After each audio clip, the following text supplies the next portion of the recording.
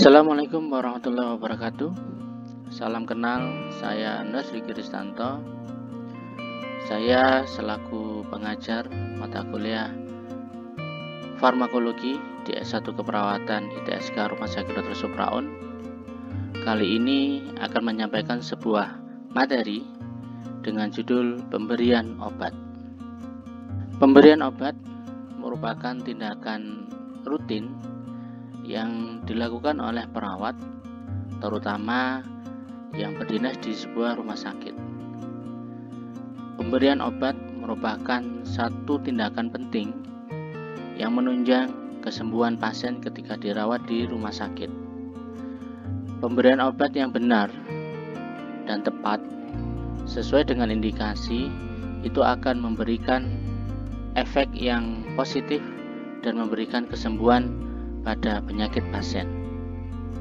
Maka dari itu, kita selaku uh, orang yang belajar di dunia keperawatan harus mempelajarinya dengan detail dan benar bagaimana sebuah obat itu harus diberikan. Karena uh, pemberian obat yang salah itu akan berdampak negatif dan justru akan memperberat dari penyakit pasien itu sendiri. Baiklah, marilah kita ikuti bersama kurang lebih satu jam ke depan uh, untuk materi pemberian obat ini. Saya berharap uh, pembahasan kita hari ini uh, menjadi ilmu yang bermanfaat bagi teman-teman semua. Sub bahasan yang pertama yaitu tentang prosedur pemberian obat. Eh, kita tahu bahwa di rumah sakit seorang perawat tentunya tidak bekerja dengan sendiri. Ada profesi lain yang memiliki tanggung jawab yang sama dalam proses pengobatan kepada pasien, yaitu dokter dan apoteker. Dokter adalah seseorang yang bertanggung jawab utama dalam pemberian resep obat. Dia bertanggung jawab dalam membuat resep obat dan menentukan obat apa yang harus dikonsumsi oleh pasien supaya uh, menyembuhkan uh, penyakit dari pasien tersebut. Yang kedua, ada apoteker. Apoteker ini bertugas memberikan obat yang sesuai dengan resep dokter. Jadi dia menerjemahkan uh, permintaan dokter dalam bentuk resep dalam uh, menyediakan obat yang akan dikonsumsi oleh pasien. Yang berikutnya yaitu adalah perawat. Perawat di sini adalah memasukkan atau memberikan obat ke tubuh pasien. Kita tahu bahwa di rumah sakit itu obat itu akan ada bermacam-macam. Ada yang harus diinjeksikan, ada yang harus diminum secara peroral, ada yang dimasukkan ke dalam anus, ada yang ditempelkan ke dalam kulit. Nah, itu semuanya merupakan uh, tugas dan peran dari seorang perawat dalam pemberian obat. Jadi di sini perawat dituntut harus mengerti dan paham bagaimana suatu obat itu harus diberikan. Jadi di sini kenapa perawat e, menjadi alasan dia harus belajar tentang farmakologi layaknya seorang dokter yang belajar untuk tentang farmakologi juga. Jadi kepentingannya adalah di sini perawat diminta untuk menguasai dan memahami bagaimana sebuah obat itu harus diberikan dan bagaimana efek yang harus diawasi ketika obat itu telah diberikan. Jadi itu merupakan tanggung jawab perawat saat merawat pasien ketika di rumah sakit. Oke, berikutnya saya akan mengenalkan tentang prinsip tujuh benar dalam pemberian obat. Perawat sebagai pelaksana dalam pemberian obat hanya boleh memberikan obat sesuai dengan resep yang telah diberikan oleh dokter. Di sini, pada saat melaksanakan pemberian obat, ada prinsip-prinsip yang harus kita ikuti dan tidak boleh dilewatkan. Beberapa standar yang sudah diberlakukan. Di sini ada tujuh benar, prinsip tujuh benar yang harus diikuti oleh perawat sebelum memberikan obat itu kepada pasien. Oke, yang pertama yaitu harus benar pasien. Yang dimaksud dengan benar pasien di sini adalah perawat harus memastikan sebelum memberikan obat apakah obat yang diberikan ini sudah benar, sudah sesuai, sudah tepat pasiennya melalui beberapa cara yaitu kita mengecek gelang identitas pasien atau yang berikut adalah menanyakan kepada pasien. Di sini kita harus terlebih dahulu e, memastikan mengidentitas pasien yang akan kita berikan obat ini sudah sesuai dengan apa yang sudah diresepkan oleh dokter. Yang perlu kita pastikan adalah identitas pasien, nama, termasuk tanggal lahir. Terus yang kedua, penanda alergi klien. Jadi obat yang kita harus berikan itu benar-benar harus tepat pada pasien yang sudah diresepkan dan e, obat yang diberikan tidak merupakan obat yang alergi bagi pasien. Itu e, benar pasien. Yang kedua, benar dosis. Setelah kita memastikan bahwa pasien yang akan kita berikan obat ini sudah tepat, maka yang kedua adalah kita memastikan dosis yang diberikan adalah dengan jumlah yang benar. Jadi eh, semua perhitungan dosis obat harus diperiksa ulang agar tidak terjadi kesalahan dalam pemberian obat. Pada kasus-kasus tertentu, terutama yang harus berhati-hati adalah pada pemberian obat pada anak-anak. Jadi eh, pada pemberian obat pada anak-anak dosis harus dilihat langsung dengan detail dan dipastikan hitungannya sudah benar karena pada dosis anak-anak itu eh, tentunya berbeda dengan dosis dewasa di mana obat itu tidak bisa eh, dalam satu kemasan biasanya dalam uh, kasus pada pengobatan anak-anak itu diberikan dalam beberapa kali. Beda dengan orang dewasa. Jadi uh, benar dosis di sini mutlak harus kita cek terlebih dahulu sebelum kita memberikan obat. Yang ketiga benar jenis obat. Sebelum memberikan obat pada klien perawat harus memastikan kembali obat yang diresepkan ini dengan cara memeriksa label obat sebanyak tiga kali. Atau pada saat memberikan obat paling tidak ada teman kita yang kita minta bantu untuk memeriksa mengecek ulang memeriksa ulang sebelum obat diberikan. Jadi karena kita tahu bahwa dalam farmakologi ada beberapa obat-obat itu yang namanya bermiripan. Ya. Jadi kita menghindari hmm, kesalahan dalam pemberian jenis obat ini dengan cara mengecek ulang uh, jenis obat yang harus diberikan. Yang berikutnya adalah benar waktu. Benar waktu di sini adalah perawat harus memastikan waktu yang tepat untuk memberikan obat karena uh, perbeda uh, ada beda obat itu nanti ada beda jam saat pemberian. Ada yang diberikan saat makan ada yang diberikan sebelum makan ada yang diberikan setelah makan. Ada yang diberikan misalnya tiga kali satu dengan jeda setiap 8 jam. Ada yang diberikan pada saat sebelum tidur Nah, benar waktu di sini harus benar-benar kita cek supaya apa? Nah, efek dari obat ini bisa didapatkan secara optimal dan pasien mendapatkan kesembuhan secara cepat. Yang kelima adalah benar cara pemberian. Di sini, sikap hati-hati sangat diperlukan agar perawat dapat memberikan obat dengan benar Perawat harus memastikan apakah obat yang diberikan sudah sesuai dengan jalur yang tepat. Dan perawat juga perlu berkonsultasi pada dokter jika tidak disertakan jalur pemberian obat. Misalnya, dokter hanya memberikan nama dan dosis, tapi eh, dokter belum menuliskan misalnya apakah ini harus diinjeksikan lewat IM atau sebaiknya lewat IV atau diinjeksikan secara intrakutan. Atau misalnya obat ini yang ditulis eh, apakah ini obat yang diinjeksikan atau obat yang sifatnya peroral.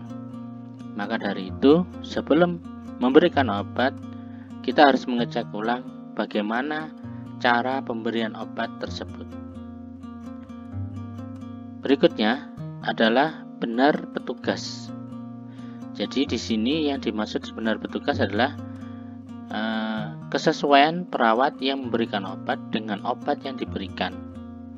Jadi uh, ada beberapa obat-obat itu yang memang memerlukan uh, tenaga khusus perawat saat melakukan pemberian obat tersebut. Misalnya obat anestesi, maka yang harus memberikan adalah perawat anestesi jadi eh, apabila dilakukan oleh orang yang di luar kemampuannya, maka ini ditakutkan akan memberikan efek yang tidak maksimal atau kurang tepat saat pemberian obat. Jadi petugas di sini harus menyesuaikan sesuai dengan kemampuan dalam proses pemberian obat. Yang berikutnya adalah yang terakhir benar dokumentasi. Yang dimaksud dengan benar dokumentasi adalah kita harus memastikan bahwa catatan setelah memberikan obat ini harus benar-benar kita lakukan dengan tepat.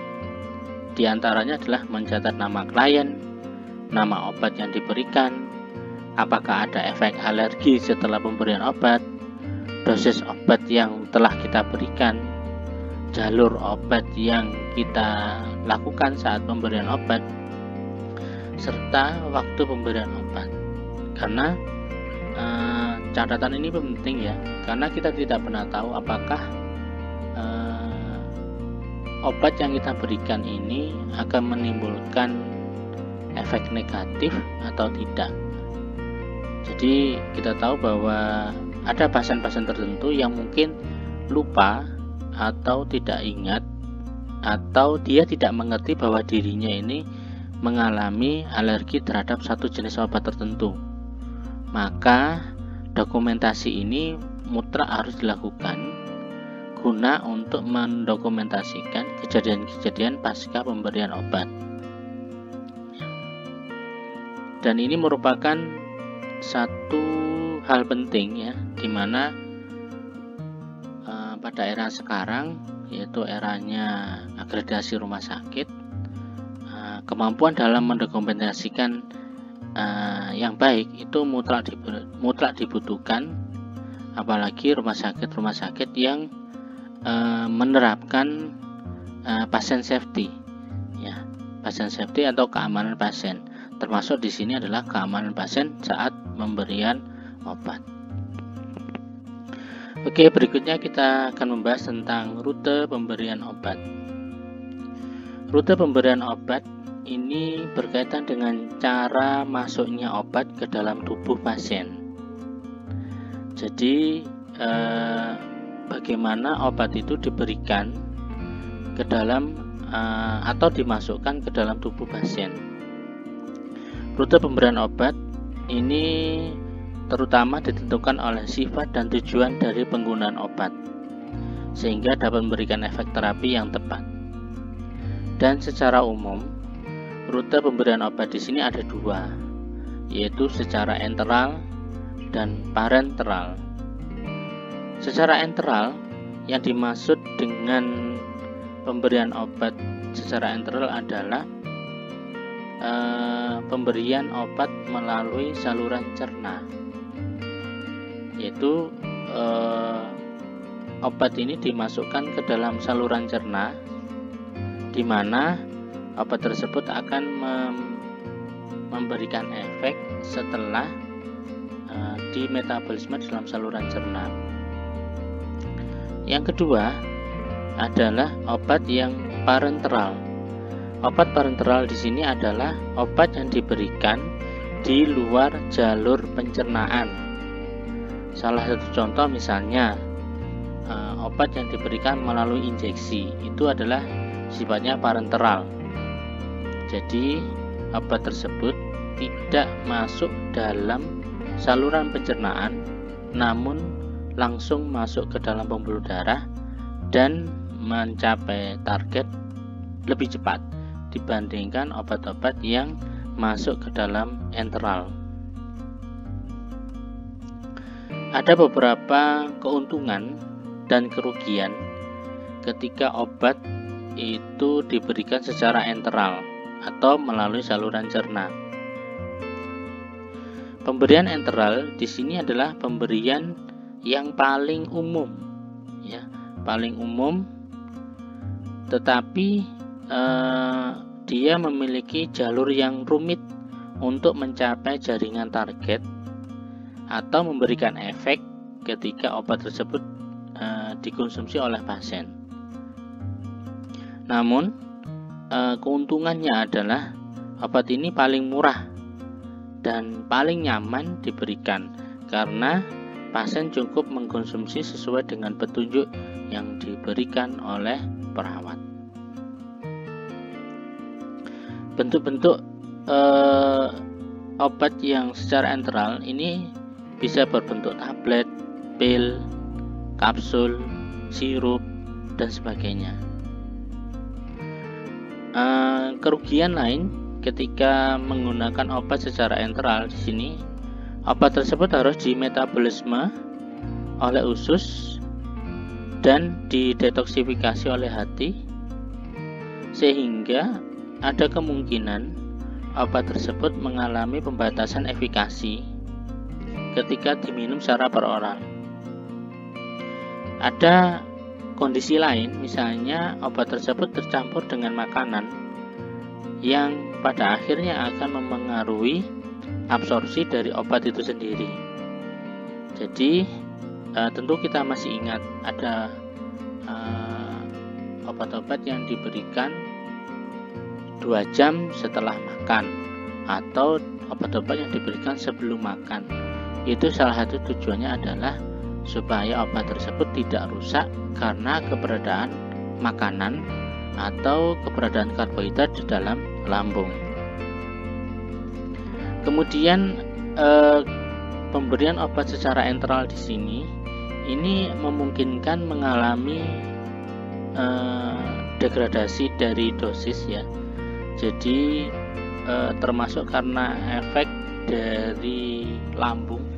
Jadi kita punya asam lambung itu juga akan memengaruhi dari jumlah dosis yang terabsorpsi di dalam tubuh pasien ketika pemberian obat secara enteral. Kemudian pemberian obat secara parenteral di sini adalah pemberian obat yang tidak melalui jalur dari pencernaan.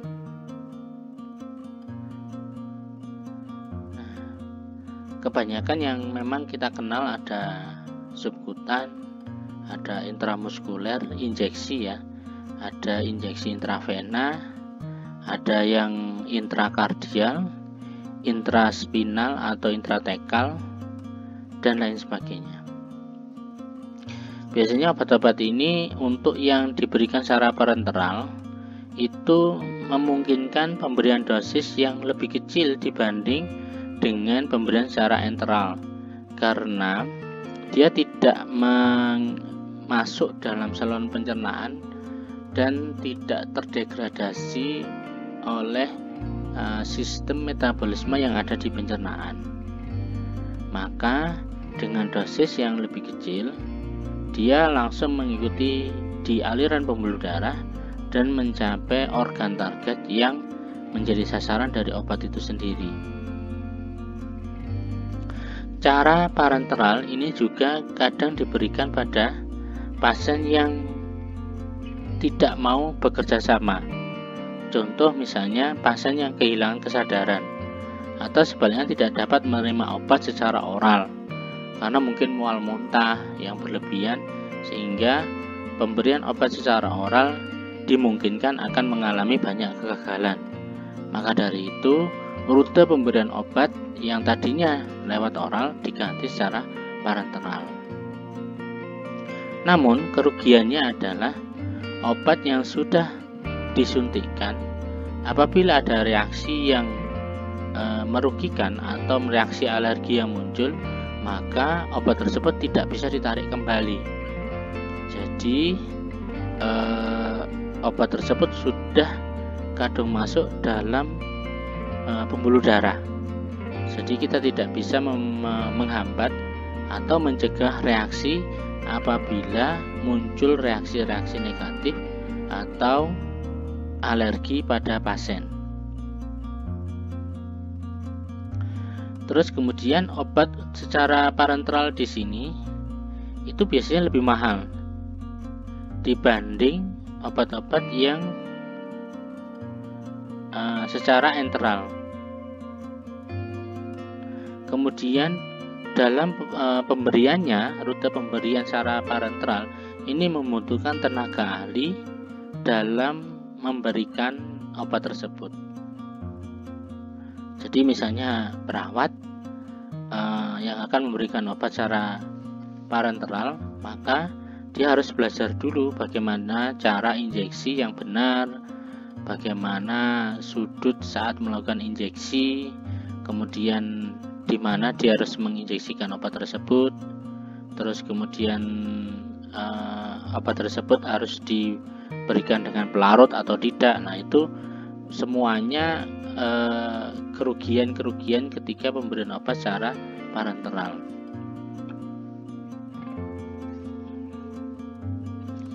Kemudian eh, bentuk-bentuk sediaan yang dapat digunakan pada obat-obat yang diberikan secara parenteral biasanya dalam bentuk preparat yang eh, bentuk cair ya atau bentuk suspensi atau larutan dari suatu zat obat dalam air atau dalam minyak nabati yang sesuai.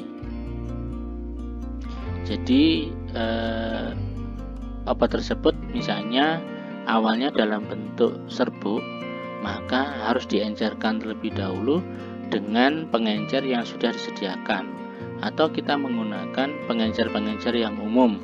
Misalnya kita bisa menggunakan aquabides.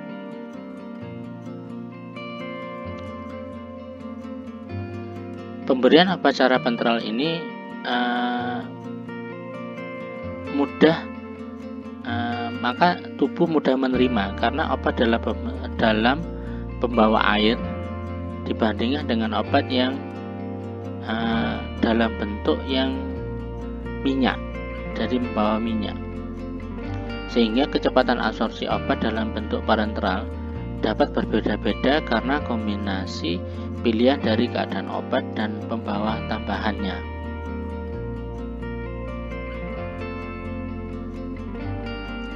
Dan e, obat-obat yang diberikan secara parenteral ini tidak menghadapi rintangan dalam absorpsi dan dengan demikian dapat menghasilkan efek obat yang lebih cepat dibandingkan obat-obat yang diberikan secara enteral atau ke dalam saluran pencernaan. Oke, jadi itu keuntungan dan kerugian rute pemberian obat antara pemberian obat secara enteral dan parenteral. Berikut saya jelaskan hmm, macam-macam pemberian obat yang melalui jalur enteral. Di antaranya adalah yang pertama oral atau melalui mulut. Jadi ini merupakan jenis obat yang paling banyak terutama kita dapatkan bila di luar rumah sakit ya jadi di klinik di pelayanan kesehatan di puskesmas itu eh, banyak obat-obat yang diberikan secara oral atau yang diminum lewat mulut eh, itu menjadi bentuk-bentuk yang umum Eh, dari kebanyakan obat yang diberikan. Terus yang kedua adalah uh, saluran melalui sublingual. Sublingual di sini adalah obat obat tersebut diberikan uh, di bawah lidah, ditaruh di bawah lidah dan tidak diminum seperti layaknya obat oral. Jadi di sini uh, pasien diajari untuk menaruh obat tersebut di bawah lidah dan nantinya obat tersebut akan hancur akan terserap oleh jaringan kapiler yang ada di bawah lidah. Satu contoh misalnya obat ISDN atau isosorbit dinitrat yang digunakan terutama oleh pasien-pasien jantung. Jadi pada saat serangan jantung dia diberikan ISDN eh, bisa misalnya tiga tablet obat ISDN ditaruh di bawah lidah dan kemudian pasien diminta untuk uh, diam sampai obat tersebut terserap habis semuanya. Yang ketiga adalah secara rektal. Ini obat yang sangat jarang dibandingkan obat oral ya. Tapi eh, secara rektal ini menjadi pilihan ketika pemberian obat secara oral ini menjadi kendala. Jadi obat secara rektal di sini obat tersebut dimasukkan kepada anus melalui anus dan nanti obat tersebut akan hancur di dalam anus karena meleleh akibat terpapar oleh suhu tubuh yang ada di anus. Jadi obat tersebut meleleh karena mencair, meleleh atau mencair karena panas atau suhu tubuh yang ada di anus.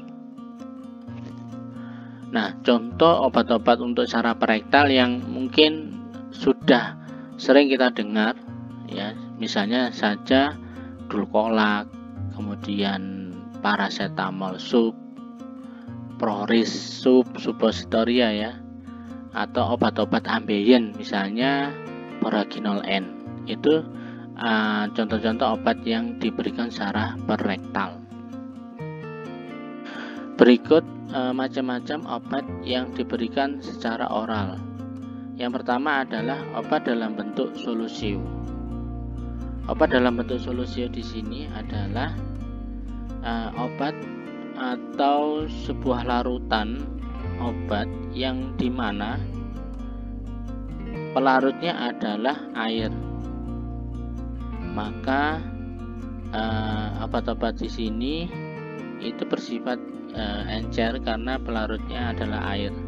Salah satu contoh adalah uh, obat ini ya, bisolvon.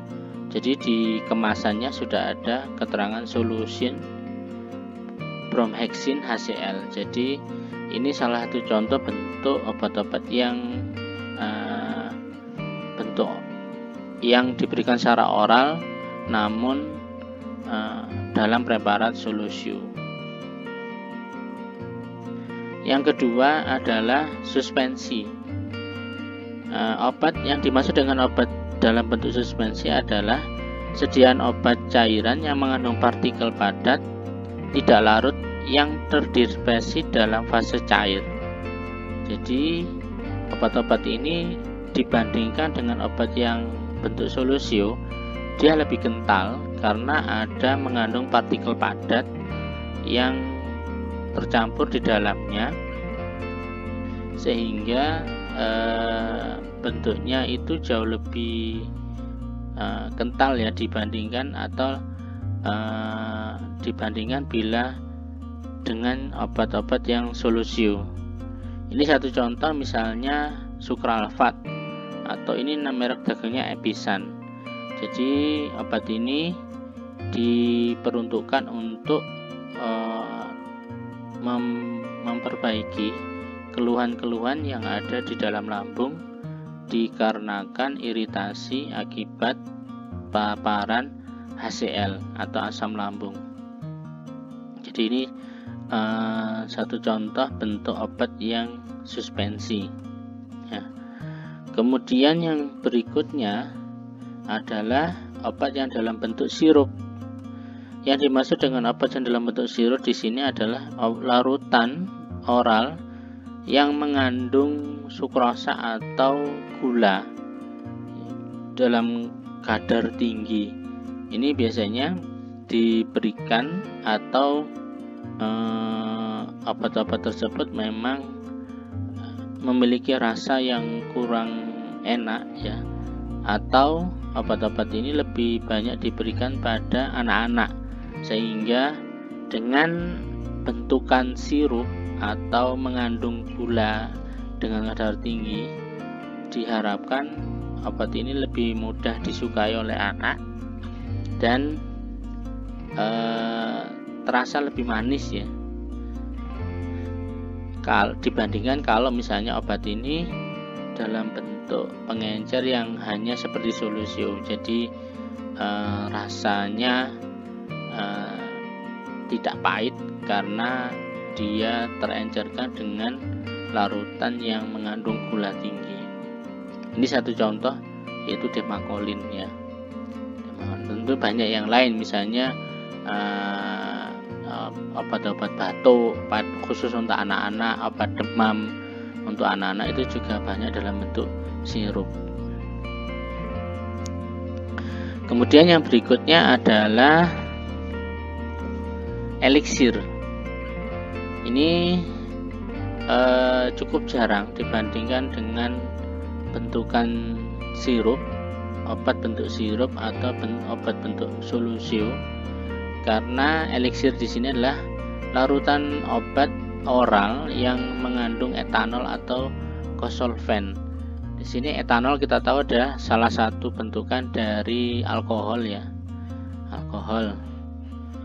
Nah, ini juga ini contohnya ada bisolvon elixir kemudian ada badukin elixir ya. Jadi kata-kata elixir di sini e, menunjukkan bahwa pelarutnya ada mengandung dari mengandung salah satu bentuk alkohol yaitu etanol. Ini contohnya badukin elixir ini e, sirup untuk menghancurkan uh, batu yang ada di saluran kencing. Kalau bisolvon ini obat batuk berdahak ya, obat batuk yang untuk mengurangi keluhan batuk yang mengandung dahak. Yang berikutnya adalah emulsi. Emulsi di sini adalah uh, dua fase cairan dalam sistem dispersi di mana fase cairan yang satu terdispersi sangat halus dan merata dalam fase cairan yang lainnya. Umumnya di sini yang terdispersi cairannya adalah dalam bentuk air dan minyak ya. Jadi untuk emulsi di sini ada dua. Jadi emulsi air dalam minyak atau minyak. Yang kedua adalah emulsi minyak dalam air. Ya. Nah, ini satu contoh uh, Scott emulsion. Jadi uh, emulsion di sini menunjukkan bahwa obat ini uh, merupakan gabungan atau dispersi antara cairan dan minyak. Ya, jadi obat yang pengencernya ada dua jadi bisa dalam bentuk cairan dalam minyak atau minyak dalam cairan ya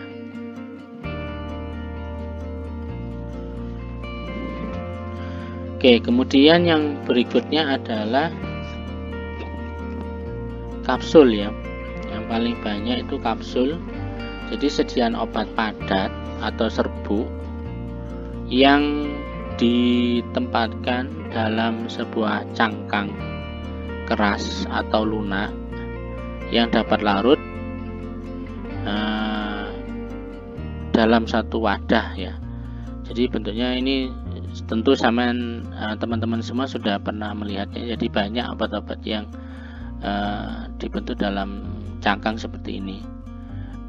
Dulu cangkang seperti ini hmm, banyak kontroversi karena cangkang obat yang bentuk kapsul ini salah satunya dibuat dari produk babi ya. namun sekarang sudah uh, banyak bergeser.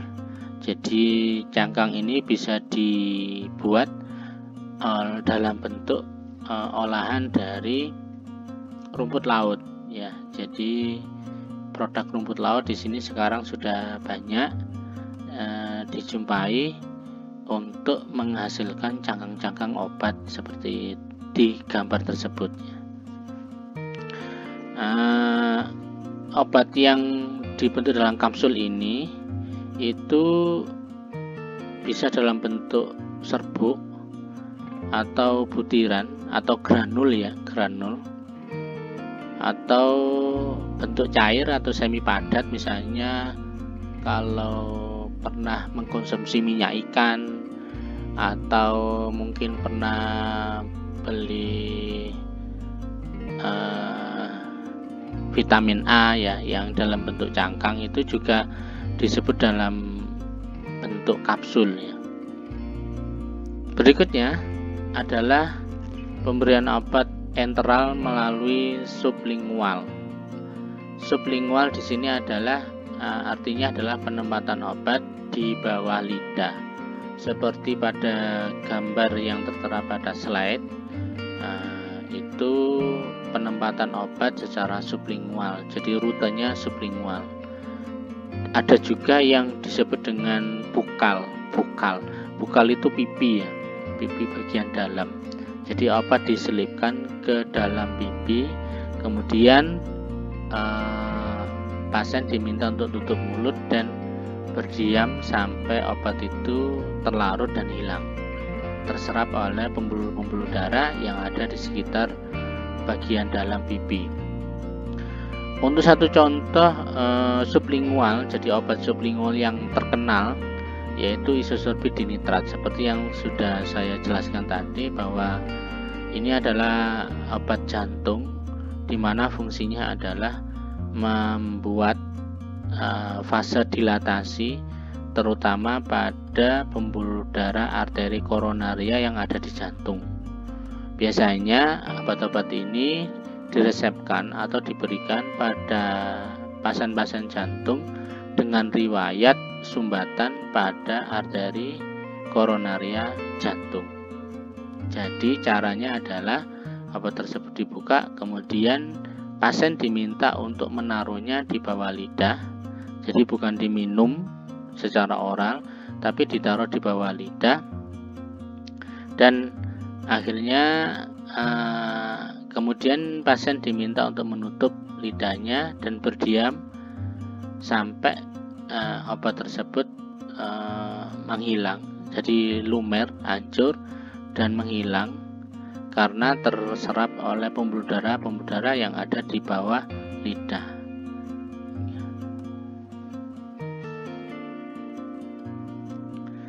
yang terakhir dari obat dalam bentuk oral pemberian parenteral EM pemberian secara enteral yaitu obat-obat yang diberikan melalui rektal atau lewat anus ya. Jadi ini nama lainnya apa di sini adalah suppositoria atau kalau disingkat menjadi obat sup gitu ya, SUPP.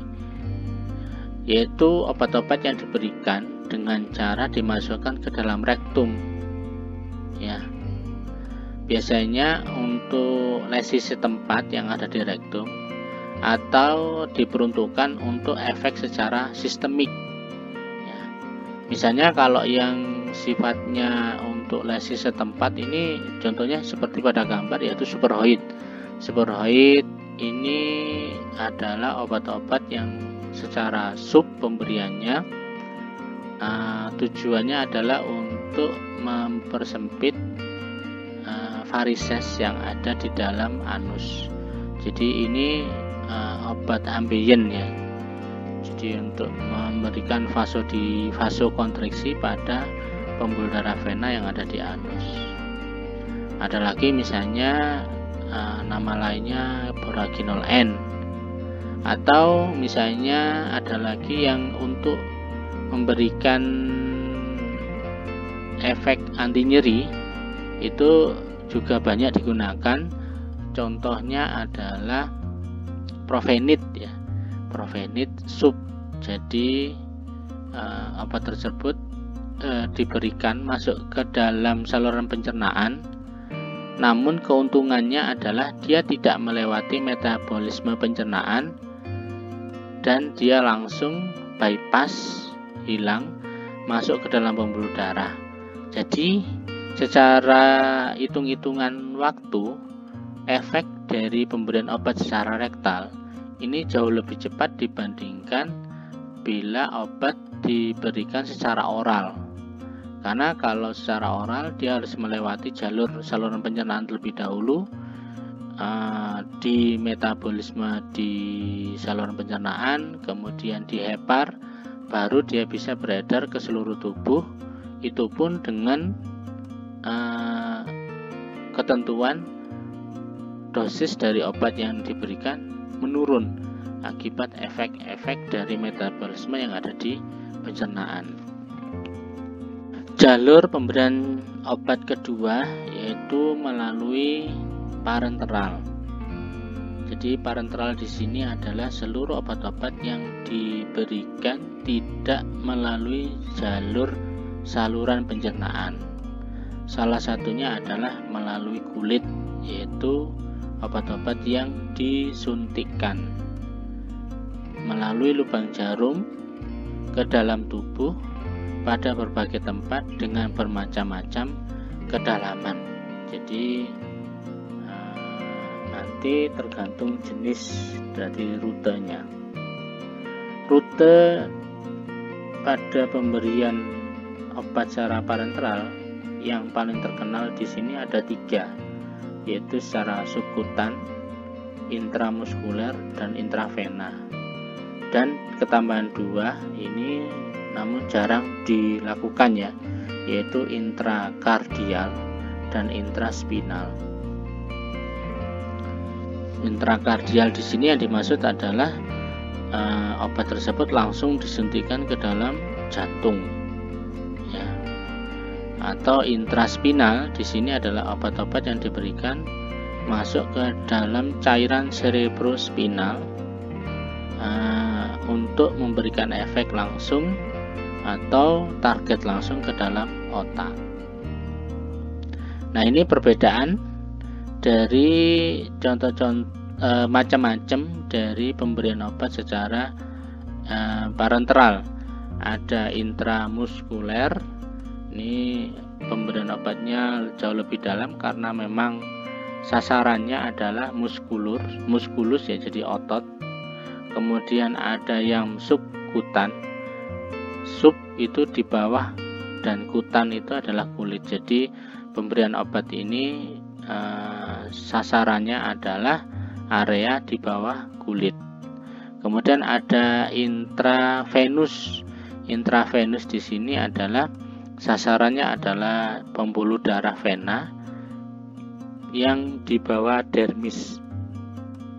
Nah, jadi di pembuluh darah yang yang pada area permukaan kulit itu menjadi tempat sasaran untuk pemberian obat secara intravenus.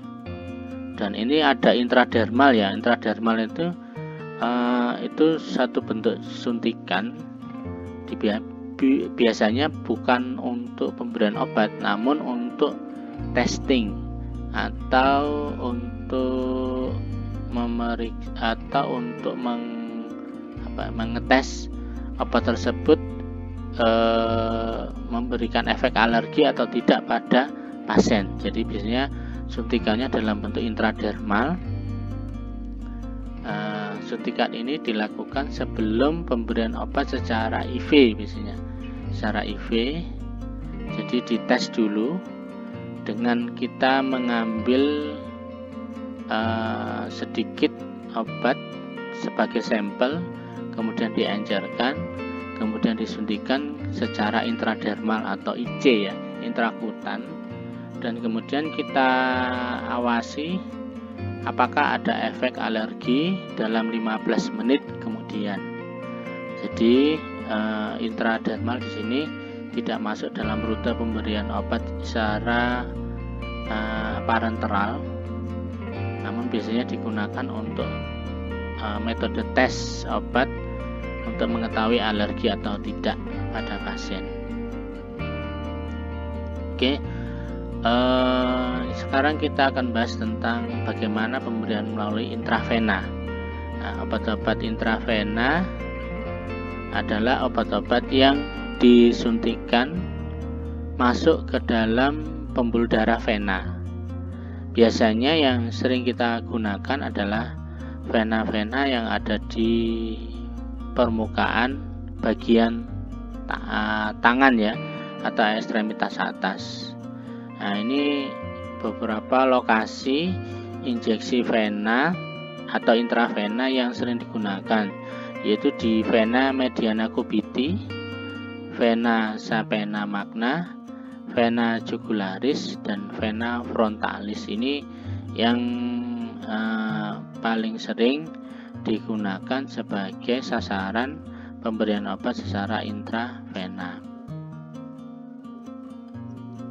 Ini contoh obat-obat yang umum atau banyak beredar di uh, masyarakat yang pemberian secara intravena. Nah, kita tahu bahwa obat ini boleh diberikan secara intravena itu dalam kemasan obat tersebut sudah diberikan kode yaitu IV ya. Jadi kayak semacam contoh sevotaxim ini ini merupakan serbu injeksi di mana dia boleh diberikan secara intramuskuler atau intravena. Jadi ada dua metode yang bisa dilakukan saat pemberian sevotaxim. Nah, ini contoh lagi yaitu ranitidin. Ya, di sini ini juga sama, jadi bentuknya ampul. Ini bentuknya cair ya. Kemudian bisa diberikan secara intravena. Jadi pada setiap kemasan obat pasti akan disematkan kode uh, bagaimana rute obat uh, tersebut bisa diberikan. Ya jadi maka dari itu ketika kita mau memberikan obat kalau misalnya kita tidak pernah atau tidak tahu maka bisa kita bisa membacanya di dalam kemasan obat. Biasanya kodenya ada IM atau IV gitu ya. Seperti pada gambar di slide tersebut. Oke, yang berikutnya adalah intramuskuler di mana pemberian obat ini masuk ke dalam otot rangka. Jadi yang menjadi sasaran adalah otot rangka. Uh, tempat yang paling banyak ya ini di gluteus ya. Jadi ini sering kita lakukan. Ini biasanya pemberian di gluteus atau misalnya lagi bisa di bagian femur atau paha luar atau bisa jadi diberikan melalui uh, deltoid ya jadi di punggung lengan lengan atas bagian luar. Nah itu bisa juga menjadi tempat uh, memasukkan obat secara intramuskuler. Jadi obat ini disuntikkan ya tegak lurus supaya jarum yang uh, ditusukkan ini ujungnya terakhir masuk ke dalam uh, otot rangka pada bagian organ yang kita suntikan tadi. Ya, untuk contohnya obat-obat secara intramuskuler cukup banyak ya. Namun yang paling terkenal misalnya contohnya misalnya obat KB atau eh, dengan merek dagang misalnya. Contohnya seperti triclofem ya. Itu satu contoh bentuk obat KB 3 bulan yang penggunaannya secara intramuskuler.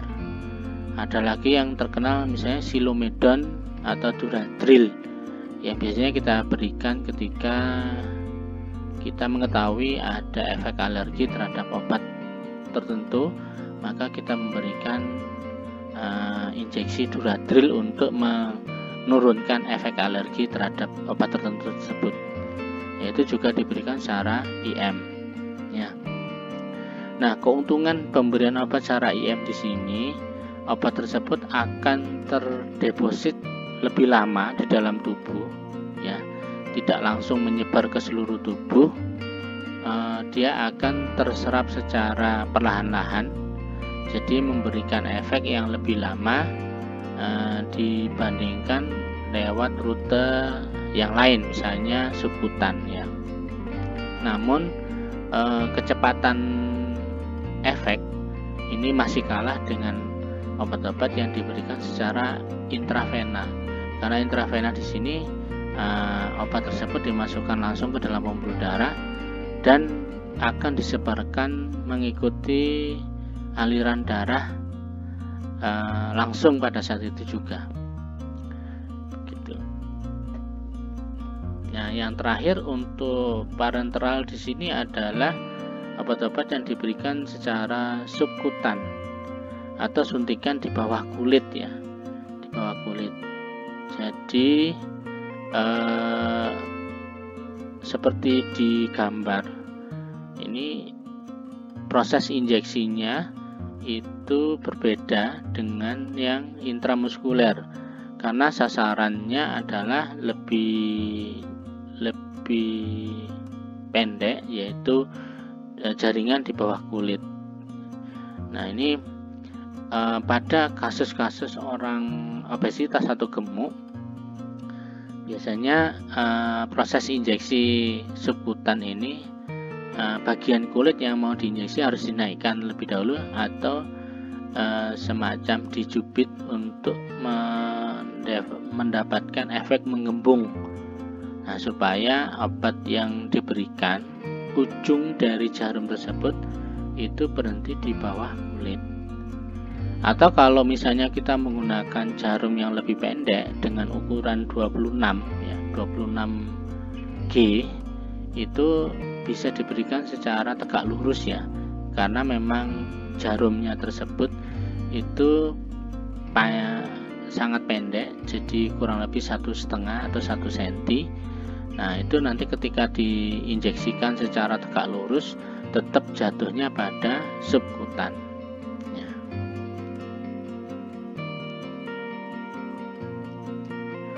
Kemudian rute lain dari obat-obat parenteral yang sering digunakan ya pada pasien-pasien yaitu ada lima ada secara inhalasi, intranasal, intratekal, topikal, dan transdermal. Nah, ini yang pertama secara inhalasi. Obat-obat ini uh, nanti bentuknya semacam uap, di mana uh, pengiriman obat tersebut yang cepat melewati permukaan luas dari saluran nafas dan epitel paru-paru. Ya, jadi ini contoh misalnya ini salah satu bentukan obat asma biasanya. Ya, terus yang kedua ini adalah obat yang dilakukan secara nebulizer. Jadi obat tersebut awalnya bentuknya cair, kemudian dimasukkan ke dalam mesin nebulizer. Nah, nanti keluarnya sudah berubah bentuk dalam uap supaya lebih mudah dihisap dan obat tersebut langsung masuk ke saluran pernafasan. Obat-obat inhalasi biasanya memang eh, paling sering diperuntukkan untuk kasus-kasus pernafasan. Misalnya mengobati pasien asma, pasien PPOK, ya, asma kronis, kemudian eh, ada lagi yang yang bentuknya alergi ya. Alergi yang sifatnya menimbulkan penyempitan pada saluran nafas.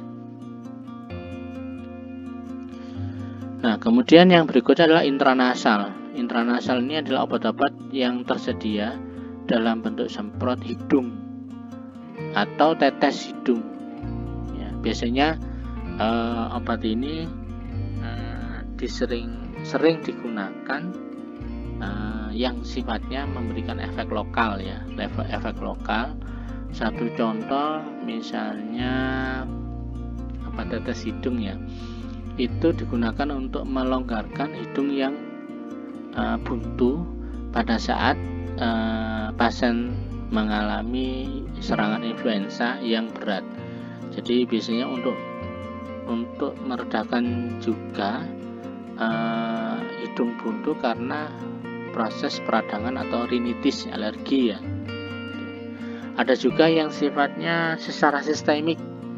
Secara sistemik misalnya obat-obat yang dihisap intranasal semacam sabu-sabu atau yang yang bentuknya narkotik ya. Jadi kokain itu uh, uh, yang sering, sering di di TV-TV atau di film-film itu kan sabu-sabu ya yang sering ditunjukkan. Jadi cara cara mengkonsumsinya dengan intranasal jadi dihisap uh, langsung lewat hidung serbuknya obat tersebut terus yang berikutnya yang jarang juga yaitu intratekal atau intraventrikuler obat yang dimaksud tersebut rutenya dimasukkan langsung ke dalam cairan cerebrospinal jadi eh, obat tersebut disuntikkan ke dalam saluran tulang belakang ya yang mengandung cairan cerebrospinal.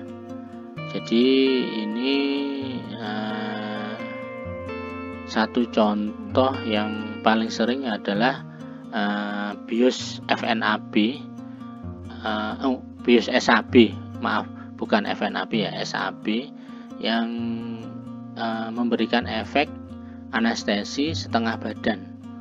Jadi misalnya pada kasus uh, ibu-ibu yang melahirkan secara sesar itu tidak dibius secara total namun dilakukan pemberian bius secara SAB yaitu obat bius yang dimasukkan ke dalam uh, intraventrikular atau intratekal yang tujuannya adalah membuat efek anestesi pada bagian punggung ke bawah sehingga uh, proses operasi itu tidak memberikan efek nyeri kepada pasien namun pasien masih dalam kondisi sadar.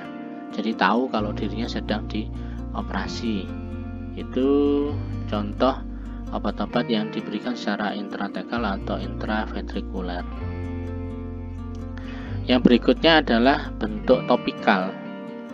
Jadi ini saya yakin teman-teman semua cukup sering ya uh, mengetahui obat-obat secara topikal di sini obat yang diberikan melalui kulit ya untuk mendapatkan efek secara lokal.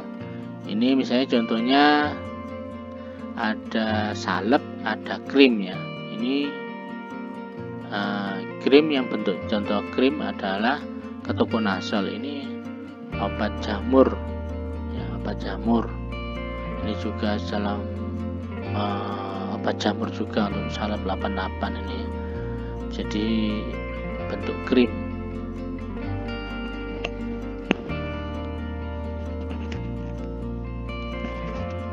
yang terakhir yaitu transdermal ya.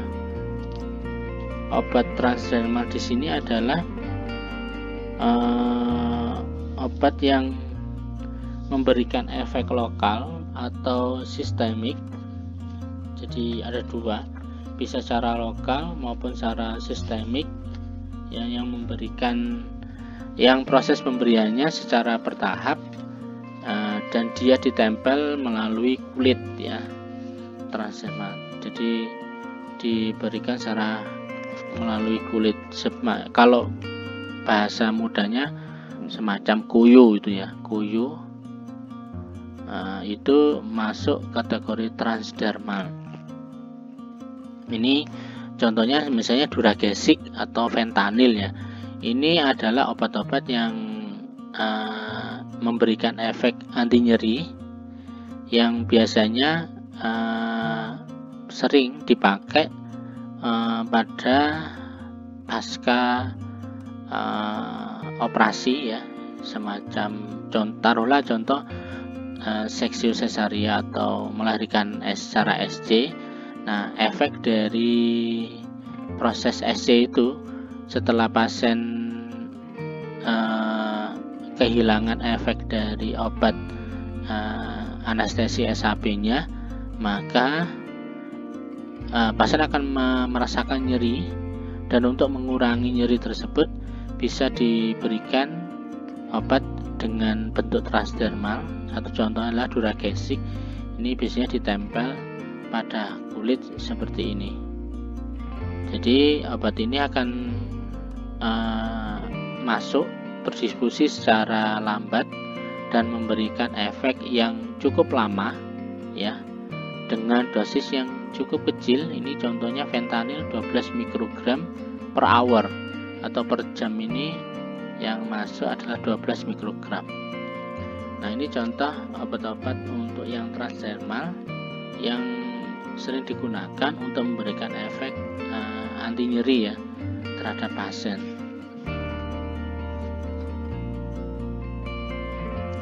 Nah terakhir ini adalah Eh, upaya-upaya uh, bagaimana yang uh, usaha kita untuk mencegah kesalahan saat pemberian obat. Ya namanya manusia dan ada human error ya jadi tentunya kita tidak uh, apa itu uh, memungkinkan masih masih ada celah untuk memungkinkan terjadinya kesalahan saat pemberian obat nah ada beberapa uh, apa itu tindakan yang bisa kita lakukan sebelum pemberian obat atau pada saat pemberian obat uh, supaya terhindar dari kesalahan-kesalahan saat pemberian obat. Selain ya selain uh, melakukan prinsip tujuh benar yang sebelumnya sudah saya jelaskan. Ya, oke. Okay. Yang, yang pertama adalah kewaspadaan baca label obat dengan teliti. Ya, karena memang uh, produk obat sekarang itu produsennya cukup banyak dan tentunya namanya nama obat tersebut itu berbeda-beda ya berbeda-beda kemudian ada punya yang bermiripan secara secara bacaan itu bermiripan nama obatnya namun kemanfaatannya itu berbeda. Uh, banyak produk yang tersedia dalam kotak warna bentuk yang sama. Jadi Eh, kita wajib baca label dengan teliti ya dengan teliti. Terus yang kedua pemberian uh, banyak tablet atau vial untuk dosis tunggal. Jadi misalnya uh, seorang dokter itu meresepkan uh, pemberian obat ya dalam jumlah banyak dalam satu kali pemberian. Misalnya tiga tablet dalam satu kali pemberian. Nah itu patut di ini ya dipertanyakan kalau misalnya anda merasa ragu atau pertimbangan zaman me, me, mempertanyakan loh ini kenapa kok kok diberikan dalam jumlah besar? gitu ya. Nah uh, satu contoh yang mungkin sering diberikan dalam banyak tablet uh, dalam satu kali pemberian contohnya ISDN tadi ya. Pada saat serangan jantung pasien mengalami nyeri dada maka pemberian obat ini biasanya tidak dalam satu tablet tapi bisa 3 sampai 5 tablet sekaligus dalam satu kali pemberian ISDN di sublingual. Nah, uh, perlu Anda menanyakan karena ada kemungkinan kalau misalnya dokternya lupa itu akan memberikan uh, interpretasi yang salah ya terhadap program obat dapat mengakibatkan beran dosis yang berlebihan maka dari itu perlu anda pertanyakan ketika apa benar obat ini diberikan dalam uh, pemberian tablet yang banyak dalam satu kali dosis pemberian Terus yang berikutnya yang ketiga adalah waspada terhadap obat-obatan yang namanya bermiripan atau sama. Ya. Misalnya ini contoh digoksin dengan digitoksin. Keflek dengan keflin. Ya, itu dua obat yang uh, memiliki fungsi yang berbeda ya berbeda namun namanya bermiripan ya jadi patut kita waspadai uh, obat-obatan tersebut yang memiliki nama yang bermiripan ya terus yang berikutnya adalah cermati angka di belakang koma pada dosis obat. Ya baik dosis yang tertera di resep yang sudah ditulis oleh dokter atau dosis eh, sekali pemberian yang atau dosis dalam satu kemasan yang tertera di dalam hmm, bungkus obat. Ya itu patut kita uh, perhatikan betul ya jadi mintanya dokter itu berapa di dalam resep terus sediaan yang ada di uh, industri farmasi itu dalam bentuk uh, dosis yang berapa uh, ada berapa. Jadi itu perlu uh, perlu perlu penyesuaiannya. Jadi kita harus menghitung ulang ketika uh, kita harus mencermati uh, terutama ini biasanya yang koma-koma ini adalah uh, dosis obat yang diberikan pada anak-anak ya. Biasanya itu kan kalau misalnya dewasa 500 mg tablet uh, paracetamol itu satu kali penggunaan. Nah tapi kalau pada anak-anak itu nanti ada hitungan sendiri. Jadi tentunya uh, akan lebih rumit ketika dosis-dosis tersebut menjadi lebih kecil ya maka dari itu kita patut mencermati angka tulisan dosis yang ada di resep dan yang ada di kemasan obat. Yang berikutnya adalah pertanyakan peningkatan dosis yang tiba-tiba dan berlebihan. Jadi eh, kita patut curiga ya, karena perawat itu salah satu tugasnya adalah advokat. Advokat itu adalah pembela pasien salah satu uh, wujud implementasi dari avokat itu adalah ya kita patut mempertanyakan ketika uh, kenapa saat uh, seorang dokter ini memberikan obat kok tiba-tiba dalam dosis yang besar ya dosis yang besar uh, adapun uh, kebutuhannya mungkin menurut hitungan kita itu tidak sebesar itu gitu. Jadi eh, perlu kita pertanyakan kepada dokter apakah benar memang dosis yang diberikan harus sebesar itu gitu. Contoh misalnya yang yang sering menjadi eh, perhatian adalah pemberian obat pada lansia karena kita tahu bahwa lansia tersebut sudah mengalami penurunan proses metabolisme di saluran pencernaan uh, biasanya uh, akibat penurunan proses metabolisme maka obat itu uh, akan tertahan di dalam saluran pencernaan dalam waktu yang lama. Makanya pemberian dosis pada lansia itu akan dikurangi dari dosis pemberian pada orang dewasa pada umumnya. Ya, karena kita tahu proses di lansia itu e, mengalami perlambatan. Jadi e, obat itu akan terdeposit lebih lama di antara di lansia dibanding pada orang-orang yang masih muda dan e, proses metabolisme penyerahannya masih lancar jadi seperti itu yang yang satu contoh aplikasi kita perlu waspada tentang penggunaan obat dalam dosis yang uh, tinggi atau berlebihan. Oke, yang berikutnya kewaspadaan berikutnya adalah ketika satu obat baru atau obat yang tidak lazim diprogramkan. Nah, ini kita juga perlu mengkonsultasikan kepada dokter yang meresepkan. Ya, jika dokter tidak lazim dengan obat tersebut, maka risiko pemberian dosis yang tidak akurat menjadi besar. Karena eh, ya kita tidak pernah tahu ya e, karena e, sering kali produsen obat melalui detailer itu e, proses komunikasinya hanya dengan dokter jadi kalau misalnya ada obat baru yang digunakan e, maka perawat yang bersangkutan yang bertugas memberikan obat perlu menanyakan. Jadi uh, apalagi mungkin yang diresepkan adalah obat-obat yang tidak biasa ya. Tidak biasa ada uh, tidak biasa digunakan. Nah itu perlu dipertanyakan sebelumnya oke kemudian kewaspadaan berikutlah jangan beri obat yang diprogramkan dengan nama pendek atau singkatan yang tidak resmi. Ya misalnya contoh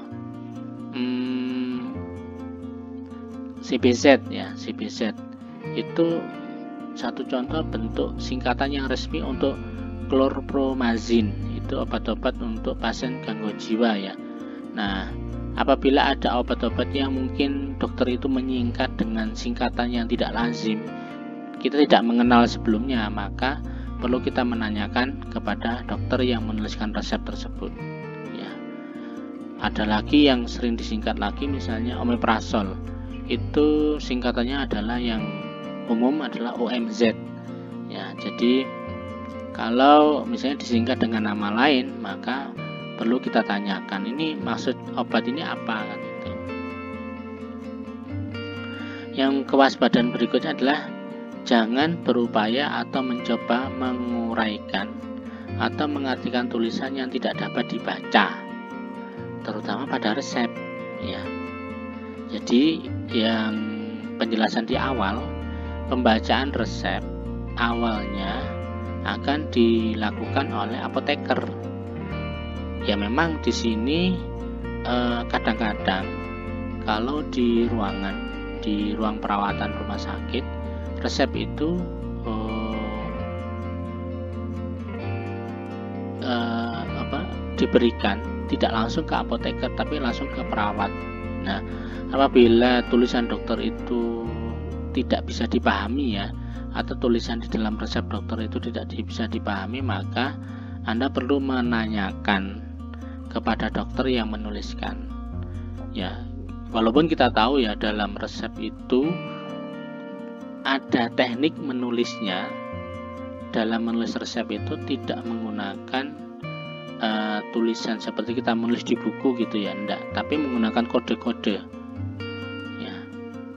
Misalnya obat ini diminum tiga kali, diminum dalam sehari tiga kali, maka tulisan di kode resep itu 3 DD 1. Nah, itu kode DD itu berarti dalam sehari meminumnya tiga kali, yaitu kode. Namun kalau misalnya ada kode-kode yang tidak kita mengenal, maka uh, untuk kewaspadaannya kita perlu mempertanyakan kepada dokter yang menuliskan resep atau pada pihak apoteker. Terus kewaspadaan terakhir yaitu cermati ekuivalen ya. Ekuivalen ini misalnya ukuran ya, ukuran yang tertera di resep maupun tertera yang ada di kemasan obat. Ada banyak ekuivalen-ekuivalen yang secara sepintas kita melihatnya itu bermiripan. Misalnya miligram, mililiter, ya, desiliter, atau dalam bentuk gram, atau dalam bentuk mikrogram, mikrogram, gram, miligram, atau dalam bentuk internasional unit, misalnya dalam kasus insulin, yaitu uh, ekuivalennya adalah menggunakan internasional unit atau IU. Ya, maka uh, perlu kita cermati benar ya jadi kita tidak tidak ingin ada kesalahan yang cuman gara-gara kita melihat sepintas ekuivalennya uh, obat tersebut menjadi salah ya antara mili mililiter sama miligram nah itu kan sama-sama M-nya di depan tapi beda ukurannya. Nah, itu merupakan langkah-langkah kewaspadaan yang yang perlu kita lakukan saat melakukan pemberian obat. Jadi ada baiknya saran saya pada saat pemberian obat kita bawa teman ya kalau ada teman sesama perawat maka kita bawa teman teman yang kita ajak tersebut sebagai korektor jadi pengkoreksi atau sebagai uh, pengingat ya. Jadi sama-sama mengingatkan ketika uh, proses pemberian obat. Baik itu melalui injeksi oral dan sebagainya. Oke saya rasa uh, materi kita sudah selesai. Dan saya berharap penjelasan yang saya berikan mudah dicerna mudah dimengerti dan saya berdoa semoga penjelasan saya menjadi ilmu yang bermanfaat bagi teman-teman semua. Saya akhiri, terima kasih dan wassalamualaikum warahmatullahi wabarakatuh.